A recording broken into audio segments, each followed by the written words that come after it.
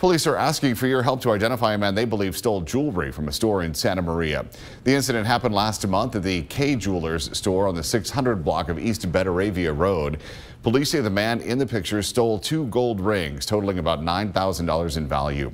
Officers say the suspect posed as a customer and used a FaceTime call as a distraction as he browsed jewelry items. Anyone with information on the man's identity or whereabouts is asked to call the Santa Maria Police Department at 805 928 3781.